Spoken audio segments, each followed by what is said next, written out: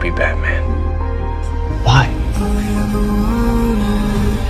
This is exactly why I'm against vigilantes. Talk to me. They think they're above the law. Why's your heart beating so fast?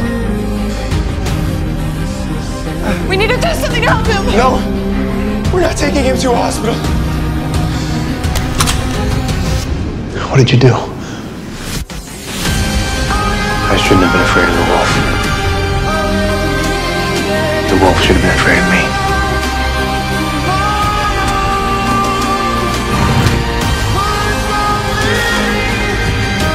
I'm right.